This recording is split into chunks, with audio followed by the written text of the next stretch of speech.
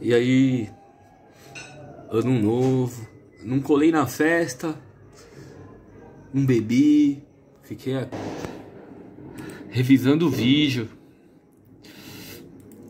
renderizando o vídeo.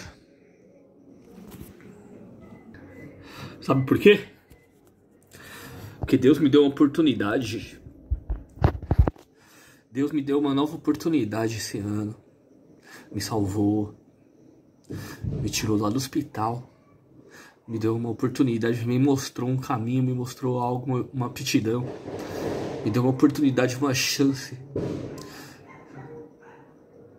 E agora, meia-noite três. Meia-noite três, eu tô aqui trabalhando e feliz pela minha oportunidade, pelo meu progresso, pela minha. pela paixão que Deus colocou no meu coração de fazer algo bom para a vida, um propósito. E aqui é o lugar que eu tô mais feliz. Subindo o vídeo. Editando o vídeo, revisando, perguntando a opinião das pessoas. E a emoção é. É o fruto de. de uma escolha, sabe? De uma sobrevivência. Não, não é uma emoção de fraqueza, é de alegria, é de conquista, é uma paz. É a sensação de que se você tirar tudo de mim, eu vou continuar fazendo. Se você tentar me prejudicar, você vai me deixar mais forte.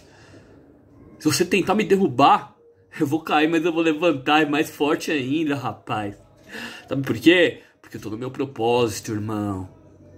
Tô fazendo aquilo que eu amo.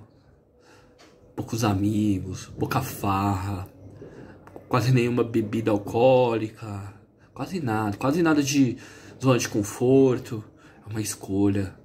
É uma escolha de viver para aquilo que para aquilo que, que, que eu acredito. Por que você não faz isso também? Escolhe viver para o que você acredita, para aquilo que, que, que, você tem, tem tesão de fazer. Que você vai fazer todo dia, não tem, não tem data comemorativa, não tem.